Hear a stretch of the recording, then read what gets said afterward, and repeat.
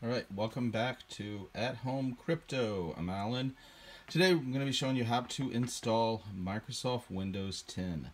You can mine, of course, on pretty much any operating system. We're going to also show, I've done one on Ubuntu. Um, that's what this is. But you're going to need one of these. Although this says 2 gigs, you'll need an 8 gig um, thumb drive to download and create the ISO and boot into Windows. So keep that in mind. That's the first thing you need, a minimum of 8 gig thumb drive. You're going to plug that into your um, motherboard. There's four USB slots, two of USB 2 and two of USB 3. So we're at Microsoft.com. This is the first thing we have to do is get Windows. There you go. So we went to Microsoft.com. Under Software, drop down Windows. Windows 10 on the next page. There get Windows 10. And one of the things I'm showing you with this is there's multiple versions of the Windows 10 depending on what you're running. I'm already running Windows 10, but we're going to install it on a different drive. Okay, there. Of course, you could buy a PC from them, get Windows OS, or check for Windows 10 updates. Today, we need to get Windows 10, and you'll probably do this from a different computer. There, selected. Next.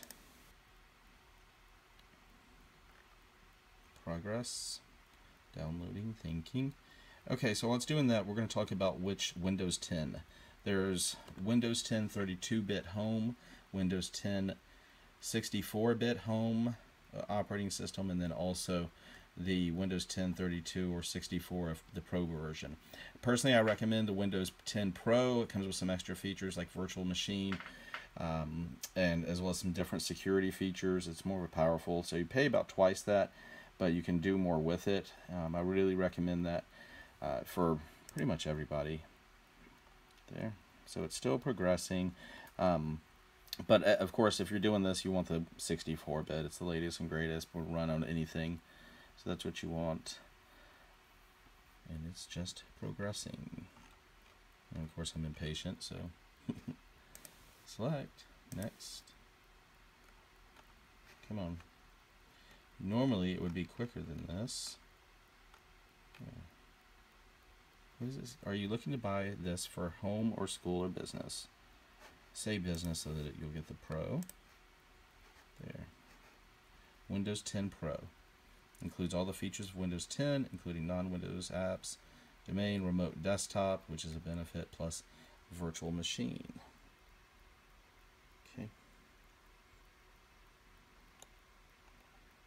You can click buy now.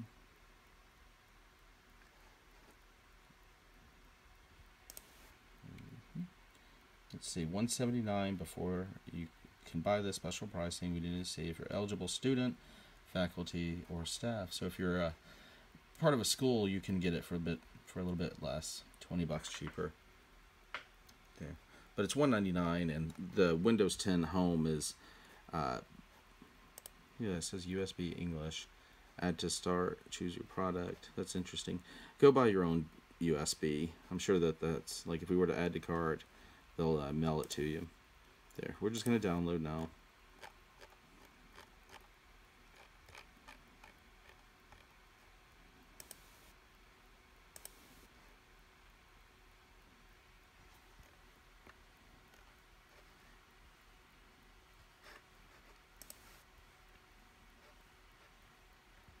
Of wanting you to download. There's Windows 10 Home. Let's see. Download. That's 119, but I really recommend there the Windows 10 Pro. Review and check out. So you would want to check out there. You don't necessarily have to do this because you can actually download the Windows 10 there. Let's do Windows 10 download.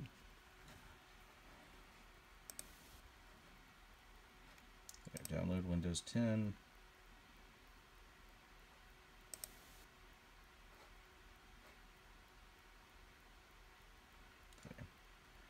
Create Windows 10 installation media. To get started, you will first need to have a license.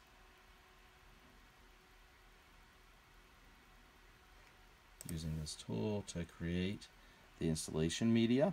which is what we're going to be doing. Some of the preliminary items you need to have where you want to install it 64-bit or 32-bit if you got the uh, processor that was that's in the links that we're using for this miner that's a 64-bit pretty much anything you're going to get nowadays is going to be 64-bit language in Windows Microsoft Office edition of Windows again we're wanting the Office 10 2010 Pro is really what I recommend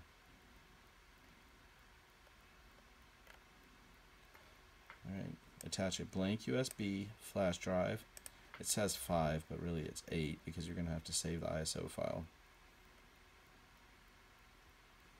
After installation of the media is created, it's a good idea to save your work, attach the USB drive, or if you hit insert a DVD, if you've been copy, copied to that. Most people will use the USB drive. Uh, they're easy and cheap. Notice it says to open a boot menu. We're going to show this to how to get into the UEFI settings or BIOS if you want to call it that when we reboot this.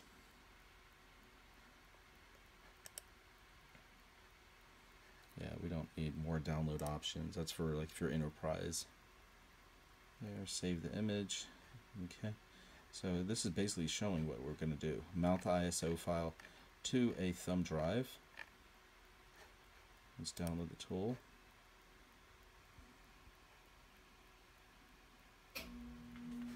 Okay, so it's we click the download tool now. Save as. There, media creation tool. Just if you want, drop it into the default downloads.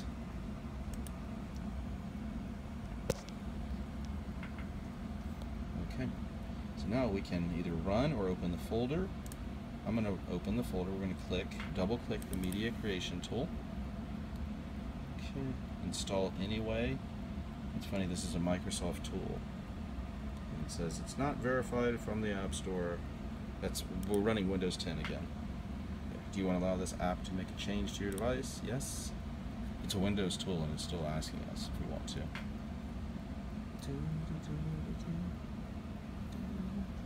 Okay. Accept the license agreement if you want to. I would recommend it so you get to next. It's asking, do we want to upgrade this PC? No, we do not. It recognizes that there's Windows already installed. We have Windows 10 installed. Um, so, you know, what we want to do with this is create the USB drive because we're going to attach that USB to our motherboard. Next. Okay, select language, architecture. There, language is English for us, Windows 10, architecture 64-bit.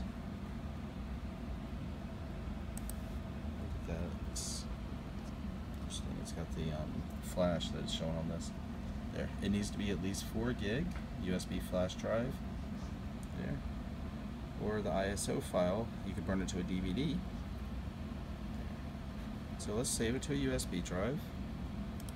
Next, refresh, removable drive, F, USB. Notice it was F, it's because I've got other drives in it.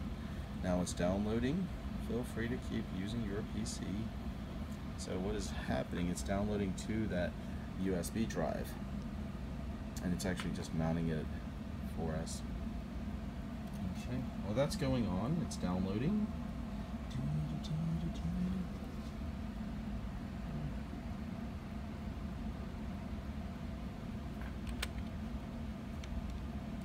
I am going to say quit there because we've already created our drive.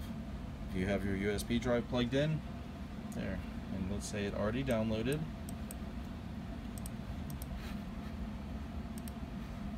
Click start, and we're going to shut down.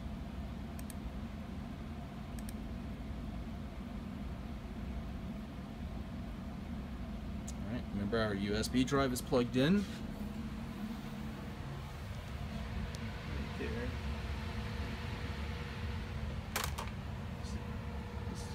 cheap one, nothing to it. Alright, so let's go. Remember, it has to be four. I recommend eight. There, so we've got that plugged in. Let's start our computer. We're going to boot it back up. I'm going to show you again how to get into the uh, UEFI when it comes up. And it tells you down here. I'm going to try to show you. We'll see it when it boots up. There, we hit F11. You would have seen it for a brief second there. F11 brings you to this menu. We're telling it now where we want to uh, plug it in. I'm sorry, where we want to boot up to first. The Realtek, that's our default Windows 10. That's one of the drives, hard drives. That's the other hard drive. We have Windows Boot Manager, USB, and USB. So let's do USB. The UEFI we don't want to do, it's the USB. USB disk 1100. And it's showing you Windows.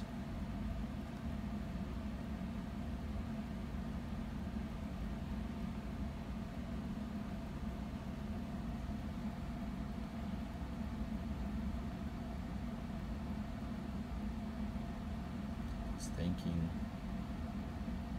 There. You'll see a screen like this, Windows setup. let me change this real quick. Sorry, y'all. I gotta figure out how to turn off that. I hope it's alright with you. That little, see right there, that circle. But Windows setup, you can work around it. There. Windows, you're gonna see just like this. For us, we have English, English, US,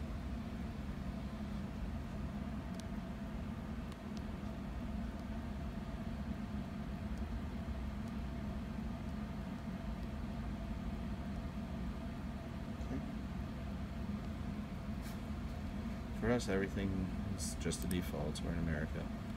Install now. This is going to ask you, see it says setup is starting. One of the first things it asks is where do you want to install?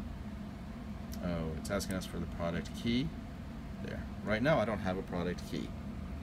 You can purchase one. You have about a month or so. There. Windows 10 Pro. 64, see it recognizes, or when we downloaded it, the 64, it's the only option you have. Um, again, you want to go with the Windows 10 Pro.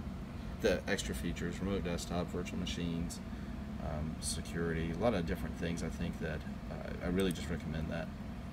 And if you're good, I'll, uh, with, you know, Linux, I'll show you how to install that in a different video. I like the Ubuntu Linux, but I'm going to also give a try of the EthOS and see what I think about that. Which type of install do we want? Upgrade, if it's already got Windows on it. You can keep all your files and applications and so forth. That's usually done if you want to repair a problem, um, like a lot of blue screens. The custom install Windows only is what we want. You can make changes to the partitions. These are all of our different partitions. You can see, you know, because I've got multiple drives and OS is on it. I'm also running Linux and a bunch of uh, other OSs on these other drives. Like Windows 10 is on um, this one. I think my Linux is on that one. That's Ubuntu that I have on that. I'll show you how to install that on a different video. Now we're just going to install it on this 810 here. It'll allow us to there, hit new. We want to make a new drive on it. There. So, what do you think? One, two, three. Yay, sounds good. 125 gigs.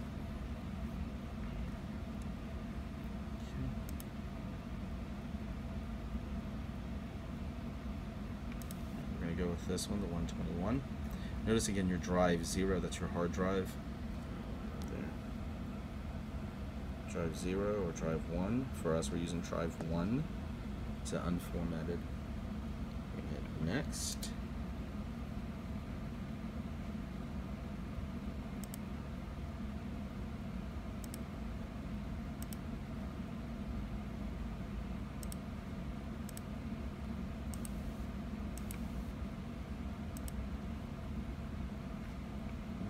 All this. wonder if, um, let me see, I'll have to format it.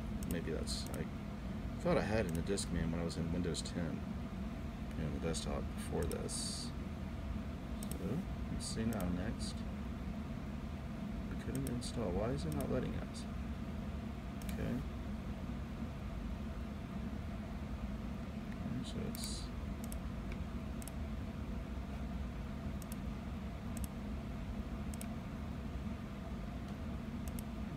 install that.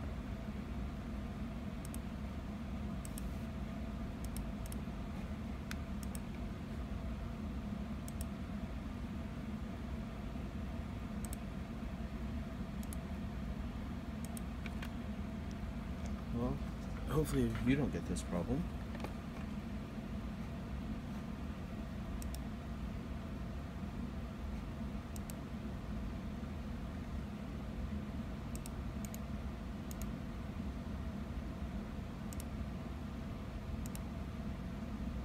Choosing the format.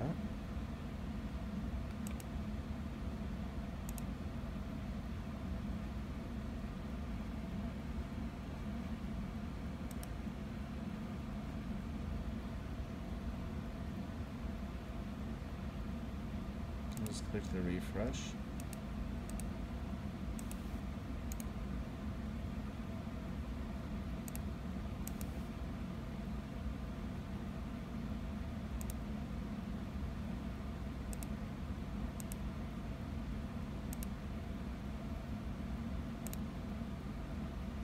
Yeah, that's interesting.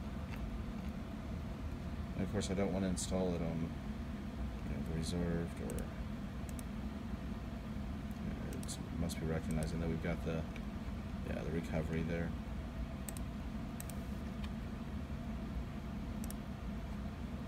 Never seen it give that error. I wonder if it's something with the way I formatted it. Alright, let's come back to this later. I'm gonna investigate and I'll finish this as a uh, part one then. Plus it's 16 minutes. This is good at the stopping point now.